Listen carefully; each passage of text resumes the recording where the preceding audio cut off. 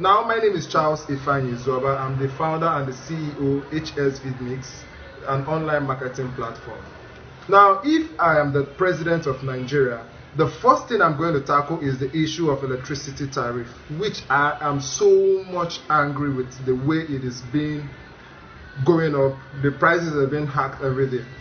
Now, as the president, I will try as much as I can and I will put an end to the high tariff rate of electricity and I will make sure that the meters are read normally and everyone gets a very fair price to pay for electricity.